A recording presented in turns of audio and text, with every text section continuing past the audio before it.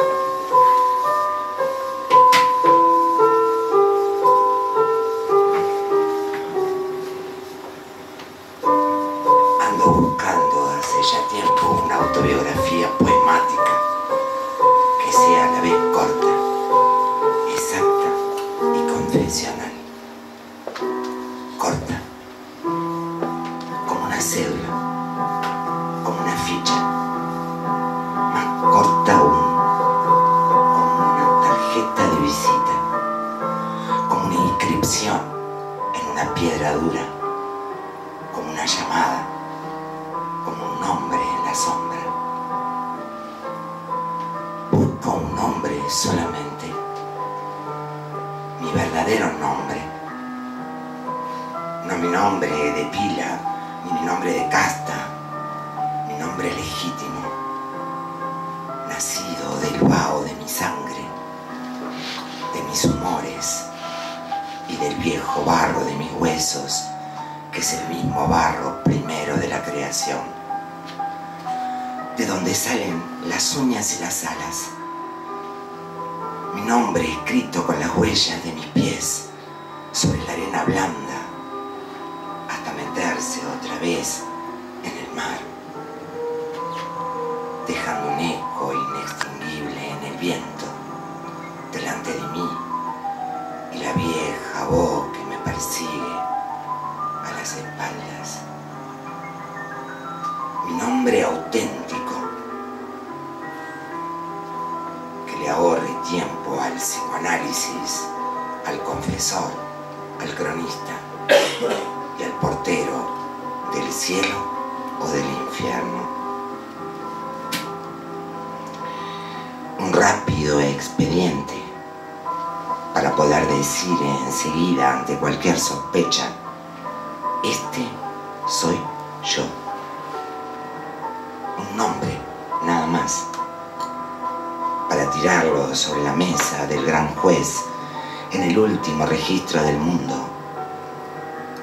Mi timbre humano, auténtico y transferible, legítimo y comunal. Mi nombre de hoy, de ayer y de mañana, tatuado sobre mi cuerpo palpitante. Mi nombre humano, tan actual, tan viejo y tan duradero como el quejido y el llanto. Llevarlo colgado orgullosamente del cuello y hacerlo sonar como una esquila en el gran rebaño del mundo y el día del juicio final. Un nombre por el que tengo que recibir y por el que tengo que pagar, por el que tengo que responder y por el que tengo que exigir. Nada de memorias. Yo no tengo memoria. Las memorias cuentan lo que no cuenta.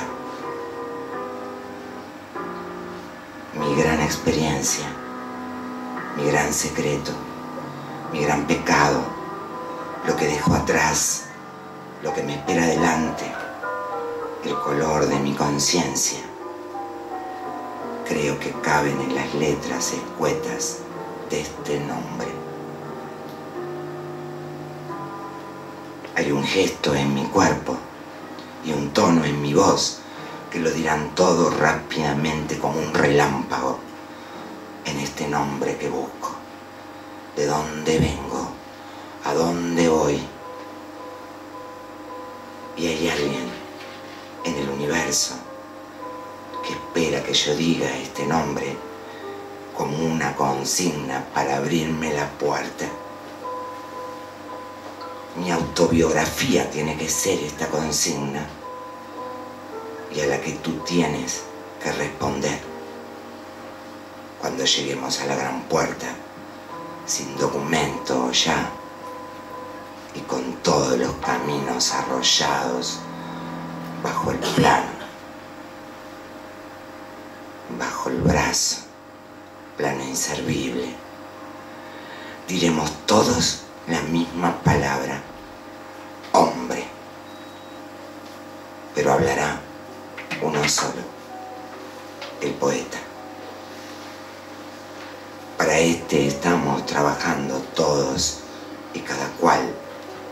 sus caminos y busca su nombre. Quiero decir quién soy para que tú me respondas quién eres. Quiero decir lo que soy para afirmar lo que he visto y para prepararme a lo que he de venir a hacer.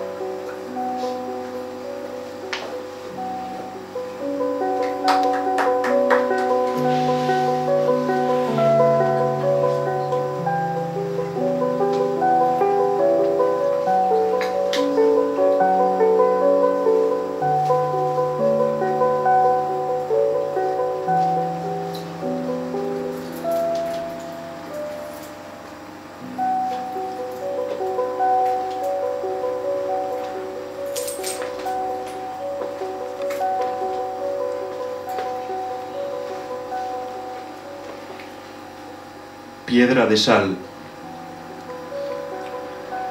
Tú estabas dormida, como el agua que duerme en la alberca, y yo llegué a ti, como llega hasta el agua que duerme la piedra.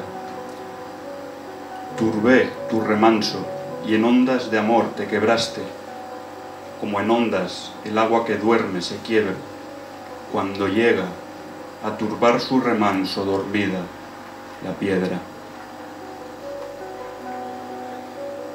Piedra fui para ti, piedra soy, y piedra quiero ser, pero piedra blanda de sal, que al llegar a ti se disuelva y en tu cuerpo se quede y sea como una levadura de tu carne y como el hierro de la sangre en tus venas y en tu alma deje una sed infinita de amarlo todo y una sed de belleza insaciable, eterna.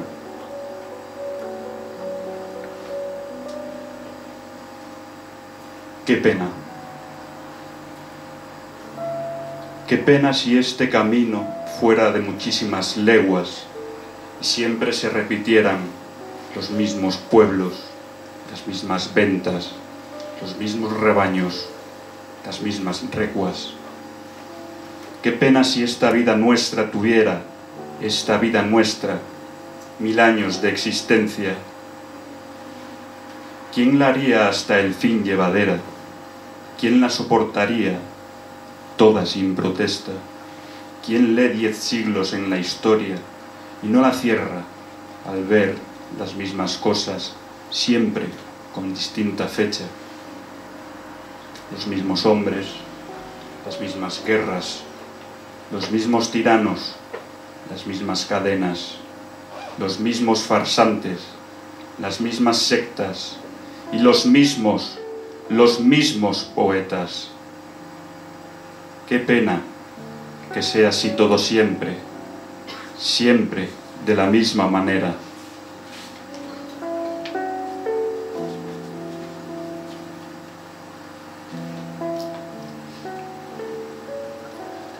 Cruz. Filósofos, para alumbrarnos, nosotros los poetas, quemamos hace tiempo el azúcar de las viejas canciones con un poco de ron. Y aún andamos colgados de la sombra, oíd, gritan desde la torre sin vanos de la frente, ¿quién soy yo? ¿He escapado de un sueño o navego hacia un sueño? ¿Huí de la casa del rey o busco la casa del rey? ¿Soy príncipe esperado o príncipe muerto? ¿Se enrolla o desenrolla el fil? Este túnel me trae o me lleva. ¿Me aguardan los gusanos o los ángeles? ¿Oísteis? Es la nueva canción y la vieja canción, nuestra pobre canción. ¿Quién soy yo? Mi vida está en el aire dando vueltas. Miradla, filósofos, como una moneda que decide, cara o cruz. Cruz. Perdí, filósofos, perdí. Yo no soy nadie. Un hombre con un grito de estopa en la garganta y una gota de asfalto en la retina. Yo no soy nadie. Y no obstante, estas manos, mis antenas de hormiga, han ayudado a clavar la lanza en el costado del mundo.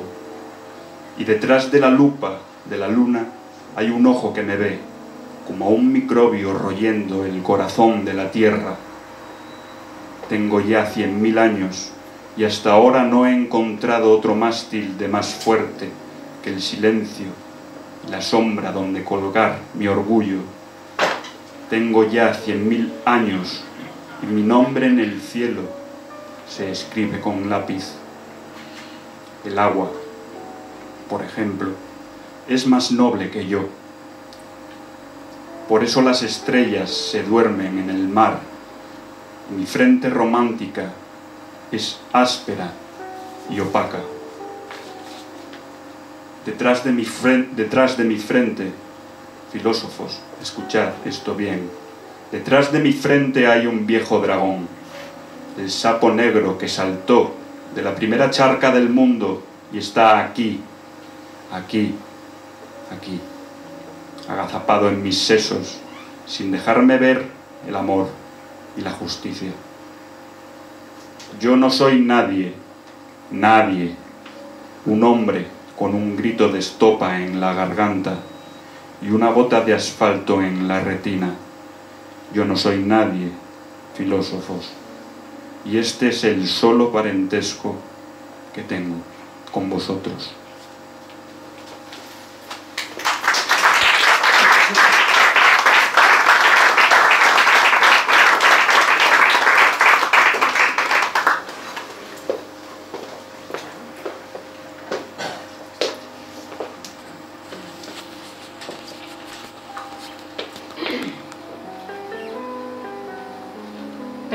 Poética.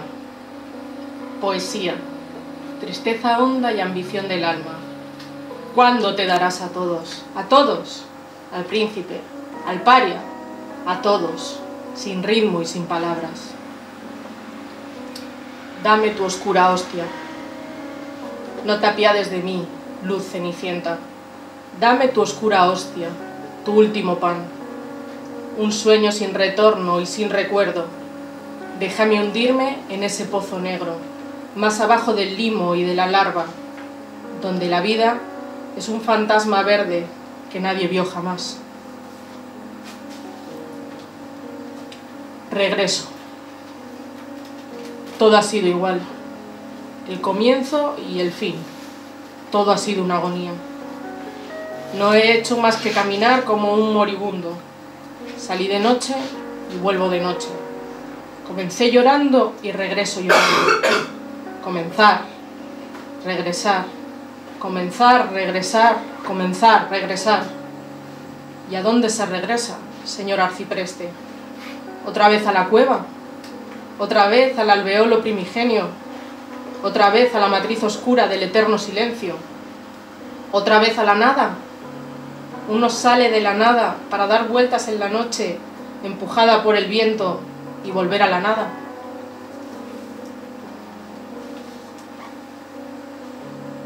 Quiero, sueño. No me contéis más cuentos, que vengo de muy lejos y sé todos los cuentos. No me contéis más cuentos. Contad y recontadme este sueño. Romped, rompedme los espejos, deshacedme los estanques, los lazos, los anillos, los cercos, las redes, las trampas y todos los caminos paralelos. Que no quiero, que no quiero, que no quiero, que no quiero que me arrullen con cuentos. Que no quiero, que no quiero, que no quiero, que no quiero que me sellen la boca y los ojos con cuentos.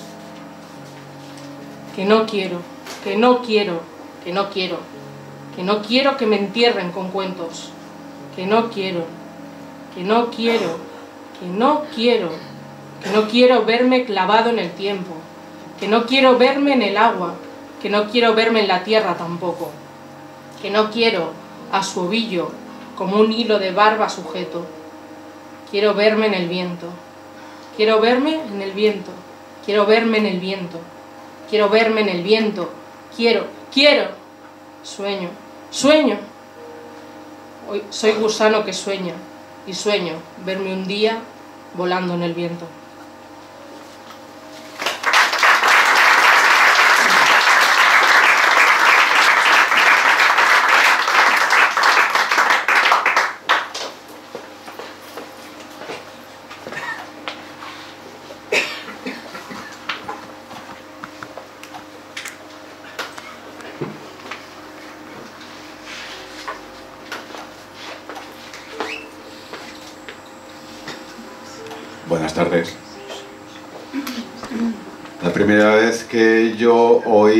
La- el nombre del León Felipe fue en el Instituto Besaya de Torrelavega, siendo un muchacho, asistiendo a la interpretación de un actor argentino que recitó, caracterizado Qué lástima, yo no lo voy a recitar, no tengo tantos arrestos, y algo sucedió entonces como si el corazón nos estallara en estrellas.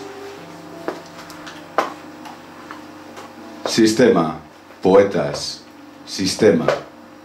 Empieza por contar las piedras, luego contarás las estrellas. Romero solo. Ser en la vida, Romero. Romero solo que cruza siempre por caminos nuevos. Ser en la vida, Romero, sin más oficio, sin otro nombre y sin pueblo. Ser en la vida, Romero, solo Romero. Que no hagan callo las cosas, ni en el alma, ni en el cuerpo, pasar por todo una vez, una vez solo y ligero, ligero, siempre ligero. Que no se acostumbre el pie a pisar el mismo suelo, ni el tablado de la farsa, ni la losa de los templos, para que nunca recemos como el sacristán los rezos, ni como el cómico viejo, digamos, los versos. La mano ociosa es quien tiene más fino el tacto en los dedos, decía el príncipe Hamlet, viendo cómo cavaba una fosa y cantaba al mismo tiempo un sepulturero. No sabiendo los oficios, los haremos con respeto para enterrar a los muertos como debemos. Cualquiera sirve, cualquiera, menos un sepulturero. Un día todos sabremos hacer justicia también como el rey hebreo la hizo Sancho el escudero y el villano Pedro Crespo. Que no hagan callo las cosas ni en el alma ni en el cuerpo. Pasar por todo una vez, una vez solo y ligero, ligero, siempre ligero, sensibles a todo viento y bajo todos los cielos, poetas Nunca cantemos la vida de un mismo pueblo, ni la flor de un solo huerto, que sean todos los pueblos y todos los huertos nuestros.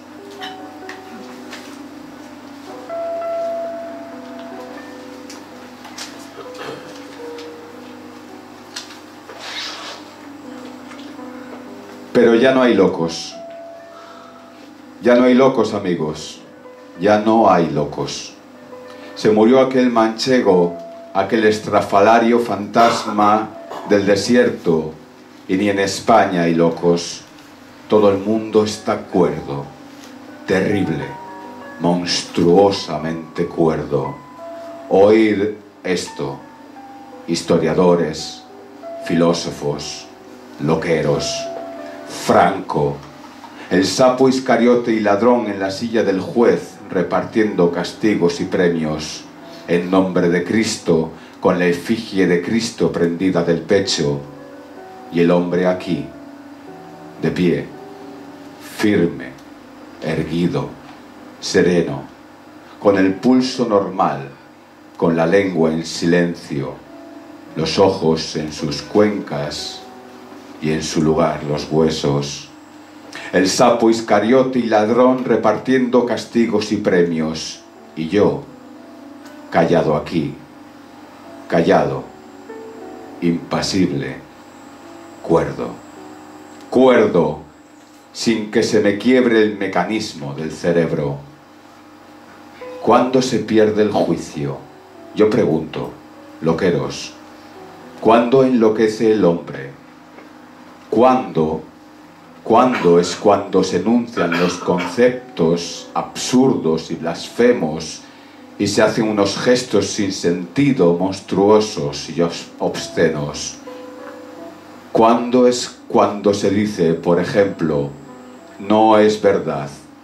Dios no ha puesto al hombre aquí, en la tierra, bajo la luz y la ley del universo. El hombre es un insecto que vive en las partes pestilentes y rojas del mono y del camello?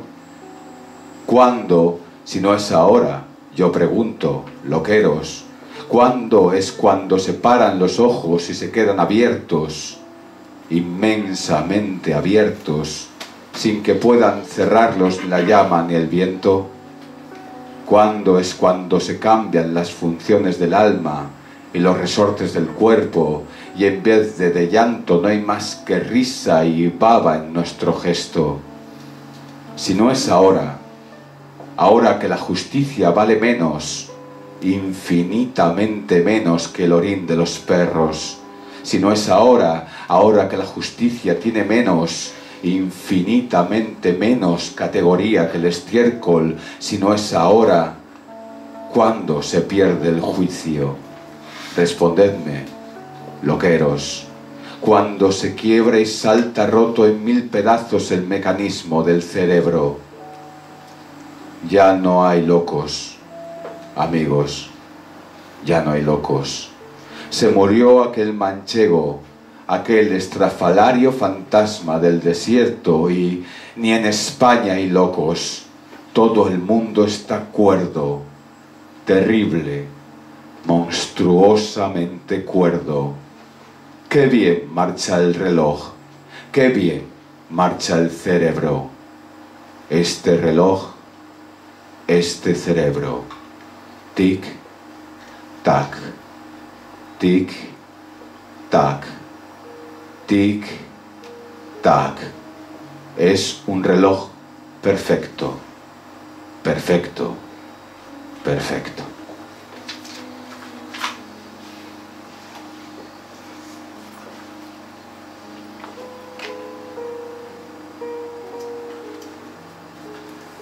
La palabra. Pero, ¿qué están hablando esos poetas ahí de la palabra? Siempre en discusiones de modista, que si desteñida o apretada, que si la túnica o que si la casaca. Basta ya, la palabra es un ladrillo. ¿Me oísteis? ¿Me ha oído usted, señor arcipreste? Un ladrillo el ladrillo para levantar la torre y la torre tiene que ser alta, alta, alta, hasta que no pueda ser más alta, hasta que llegue a la última cornisa de la última ventana del último sol y no pueda ser más alta, hasta que ya entonces no quede más que un ladrillo solo, el último ladrillo, la última palabra para tirárselo a Dios con la fuerza de la blasfemia o la plegaria y romperle la frente a ver si dentro de su cráneo está la luz o está la nada.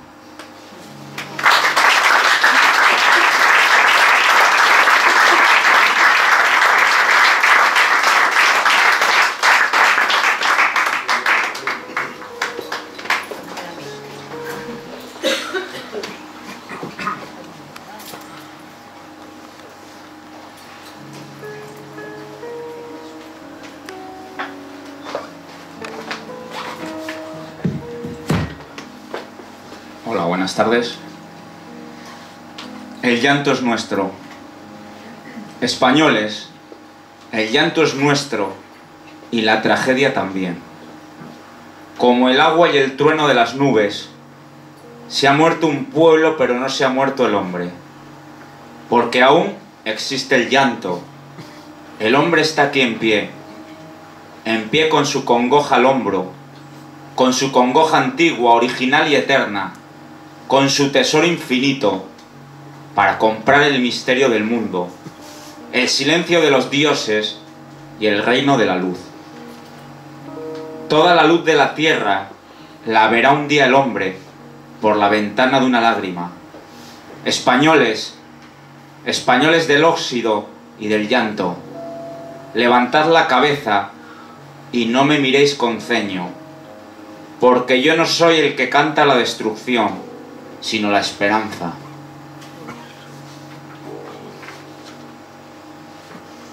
Aullidos. Pasan los días y los años. Corre la vida y uno no sabe por qué vive.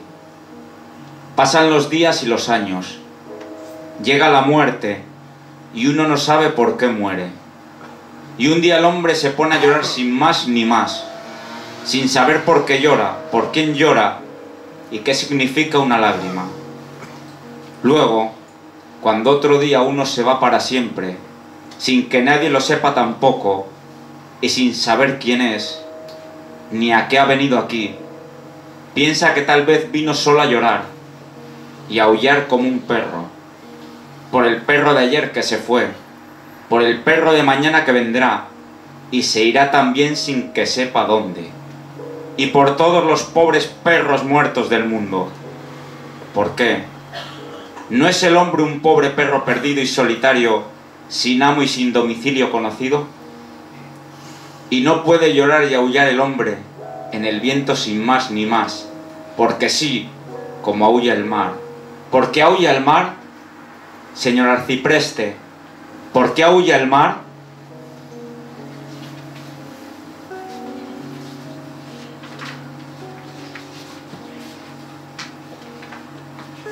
Como un pulgón.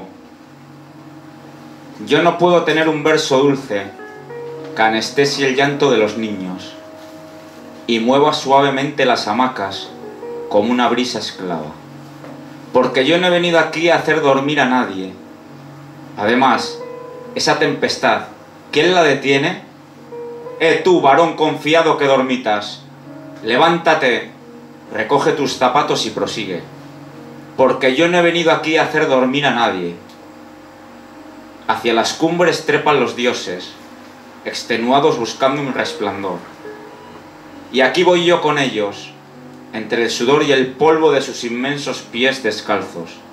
Aquí voy yo con ellos, atropellado y sacudido, pero agarrándome a sus plantas como las pinzas de un insecto, clavándome en su carne, hundiéndome en su sangre, como un pulmón, como una nigua, maldiciendo, blasfemando, porque yo no he venido aquí a hacer dormir a nadie, ni a los niños, ni a los hombres, ni a los dioses.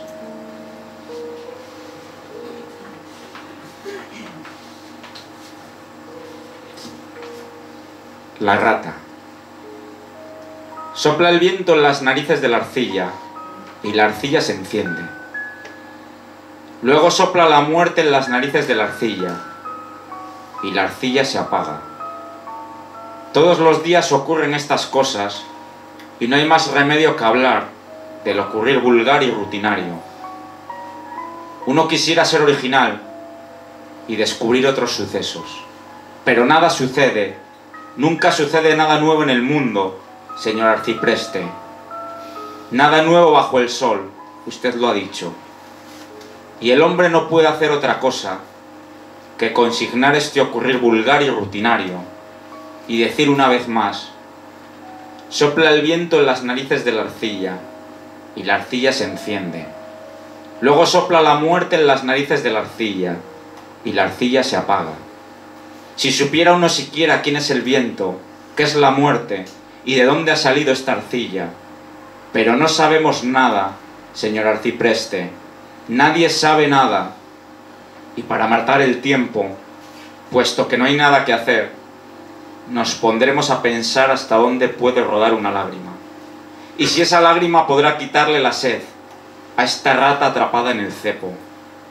Y tampoco, señor arcipreste, puede uno sentirse original al decir que uno es más desgraciado que la rata atrapada en el cepo.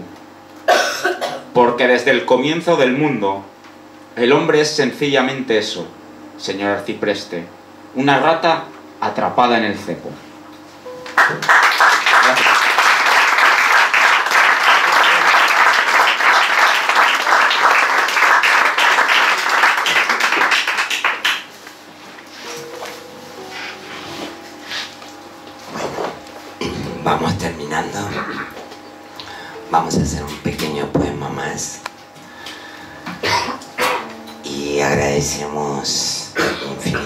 Como siempre, a la vorágine por estos momentos, a todas y cada una de las compañeras y los compañeros que nos acompañan. Eh, agradecer muchísimo a los poetas y poetas que han estado leyendo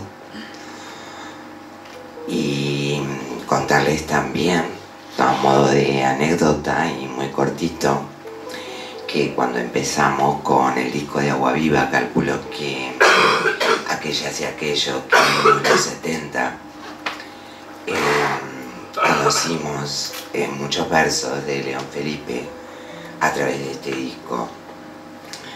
Eh, yo vivía en ese momento en Latinoamérica y estos discos nos llevaban de manera clandestina muchas veces y conocimos mucha poesía española eh, que en ese momento de repente no entendíamos demasiado por cómo eran las barreras que el franquismo ponía eh, a toda la información que nos, que nos iba llegando.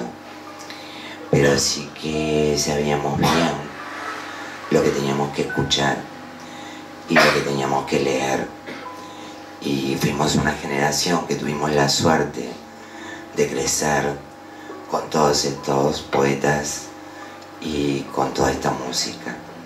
Y realmente eso estoy, creo que muy agradecida por eso.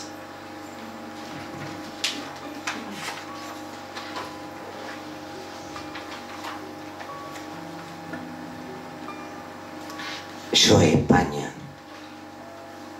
ya no soy nadie aquí. En este mundo vuestro, yo no soy nadie. Ya lo sé. Entre vosotros, aquí, en vuestro mercado, yo no soy nadie ya. Un día me robasteis el airón y ahora me habéis escondido la espada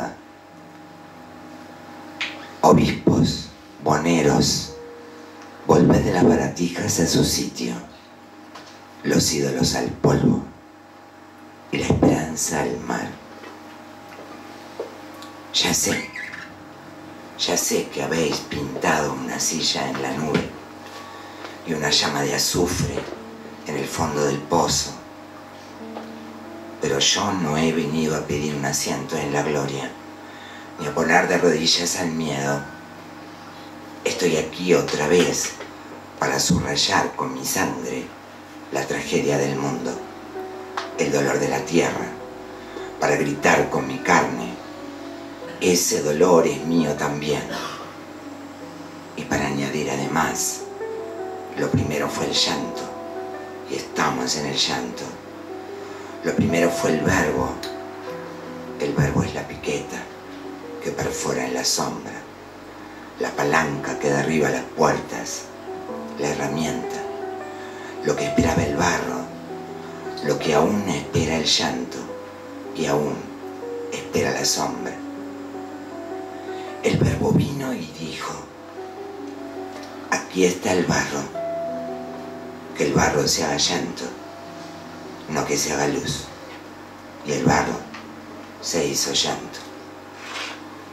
Lo primero fue el barro, el barro hecho llanto, la conciencia del llanto, el dolor de la tierra. ¿A quién le hablas así? Al que tiró el huevecillo en el barro viscoso de la charca, al que fecundó la primera charca del mundo, al que hizo llanto en barro. ¿Quién eres tú? el barro de la charca, el barro hecho llanto, tierra de lágrimas, lo mismo que tú. Nadie ha pasado por aquí. Lo primero fue el llanto y estamos en el llanto, porque aún no ha dicho el verbo que el llanto se haga luz. Lo dirá, lo dirá, porque si no, ¿Para qué sirve el mar? Nuestros llantos son los ríos que van a dar a la mar. O puede ser la vida eternamente un lamento encerrado en una cueva. Dios es el mar, Dios es el llanto de los hombres y el verbo se hizo llanto para levantar la vida.